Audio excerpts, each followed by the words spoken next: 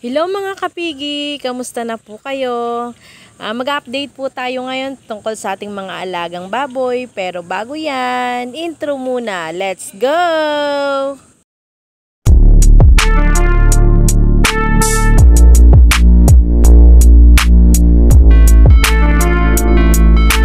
Ito na po yung mga walay natin sa ating mga inahin kay Mami Pig po at saka kay Black.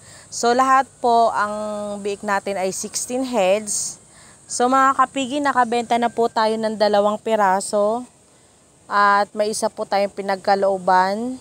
So bali po ito ay ano na lang, pitong lalaki at anim na babae. So yung mga babae po mga kapigi, aalagaan po natin yan at gagawin po nating inahin. Medyo nakakalungkot po kasi ang presyo ngayon ng biik dito sa aming lugar. Minsan po ay may 2.5 nagbebenta, 2.7, meron pong 3,000, pero may nagbebenta rin pong 3,500. Yung sa akin po, 3.5 po ang bentahan ko. So yan, kapag ganyan po na hindi mabenta, ay alagaan na lang po natin yan. So yun mga kapigi, lagi po natin tatandaan kung may pangpuhunan din po tayo. Kapag po bagsak presyo ang, at, ang mga biik, gawin pwede po natin gawing alagaan po nating patiner. Kasi po mataas din naman ang kuha ngayon ng patiner, 160, 170. So tsaga-tsagain na lang rin natin na alagaan ng ilang buwan kasi kaysa baratin tayo, tayo ibigay natin ng bagsak presyo ang ating mga biik. So kasi naipagod rin naman po tayo dyan, puyat, konsumo po talaga tayo ng pera. Kapag naman po mataas ang biik, mas maganda na ibigay, ibenta na rin po natin kung mataas. Halimbawa po, 3.5. Pwede na rin po yun. O kaya hanggang 3,000. Pero kung halimbawa po na mas bababa pa doon, ay lugi na po tayo doon. Yung ating, ano, yung ating puyat, pagod, ay hindi na po mabayaran yun pag ganun. Ito naman po yung ating isang bulugan. Ito po ay si Gigolo.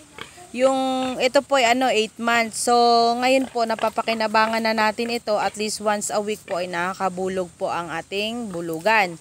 So yung isa po si Machete natin kasi dalawa po ito eh. Yung si Machete po pinadala namin sa bundok. Kasi po doon uh, pag nagpapabulog doon, big po ang binibend, ang binabayad. Tapos yung may-ari ng bulugan, yun ang unang pipili doon sa mga biik. Kaya maganda po yun kasi puro native po doon. Kaya pinadala po natin. So ito po ay control po ang pagkain nito kasi maliliit po yung ating mga dumalaga. So pag pinalaki po natin ito ng malaking malaki ay baka hindi po kayanin ng ating mga dumalaga. Dito naman po sa lugar namin, ang presyohan po ng pagpapabulog ay 1,000. Ito naman po mga kapigi, si Mami Pig. So sa ngayon po ay nalipasan po yan ng paglalandi kasi kinondisyon po muna namin ang kanyang katawan. Nag-vitamins tayo, nagpurga. Actually naglandi na po yan one week pagkawalay. Kaya lang po ay hindi pa siya, payat pa po siya kasi syempre nagpapadede po. Kaya yan po sa ngayong kondisyon na po yan, hinihintay na lang po natin na maglandi po siya para mapabulugan po natin. So mga kapigi, ito po yung una naming inalagaan na inahin. Big po yan nung ibinigay sa amin. So awa po ng Diyos, pautay-utay, nagdadagdag tayo ng inahin kada anak po. Ito ay nakapangalawang anak na po ito mga kapigi. Ito naman po mga kapigi, ito yung ating dumalaga. Anak po ito ni Mami Pig. Ang pangalan po nito mga kapigi ay si Monrick. So ito po ay napabulugan natin kahapon. So maghihintay ulit tayo ng 18 days. Kung magre-reheat po ulit siya, ay uulit po ulit ng pabulog. Pero kung hindi naman po maglandi na, ay magbibilang po tayo ng 114 days bago siya manganak. So ito po ay ano un, uh, unang ano niya po, unang pagbubuntis niya kung sakali po na matuloy. Kaya mga kapigi, advice ko lang po dun sa mga nag-aalinlangan mag-alaga ng baboy. Halimbawa po wala pa kayong ganong kalaking puhunan, okay lang po yan. Mag-umpisa po kayo sa biik, sa isang piraso. Tsagain nyo lang po. Kagaya po namin, tsaga lang po tayo mga kapigi. Tapos yung nanganak na po yung ating unang inahin, ito na po yung anak. Kada anak po, kumukuha po tayo ng gagawin nating inahin. Kung gusto nyo pong magparami ng mga inahin. So, ito naman pong ating black na ito, si Black Beauty, ay buntis na rin po ito.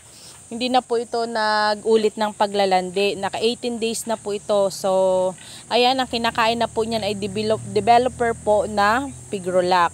So, yun po, tested na po talaga namin yon yung brand po na yon at maganda, maganda naman po talaga uh, sa paggamit po namin ng feeds po na yon so yung unang anak po nito ay walo po walo ang anak niya so ito po second parity niya po yan yung pagbubuntis po na ito so malalaman natin kung ilan po ang magiging anak niya ngayong second parity Naalala ko pa noon mga kapigi, pag bumibili po kami ng feeds noon, isang baboy lang po per kilo lang po. Minsan isang kilo, dalawang kilo, ganun lang po. Tapos ito po yung ating farm, update ko na rin po kayo. Ito po yung bago natin, uh, extension po ng ating piggery. So ang target po natin dito ay at least maka 10 to 20 heads po tayong inahin dito. Pero mga kapigi, ito po ay light material lang po. Tatlong patong lang siya na hollow blocks. Tapos ang pinaka dingding niya po, yung pinaka wall niya po ay kawayan lang. Kasi yun lang po yung very affordable dito sa lugar namin.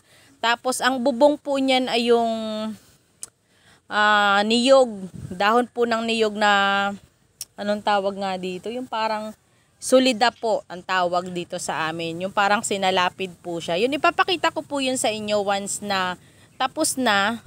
Ayan po, talagang tiyaga lang po muna tayo sa mga light material. Kasi sabi nila yung sa Sulida po, nagtatumatagal lang siya ng 1 year.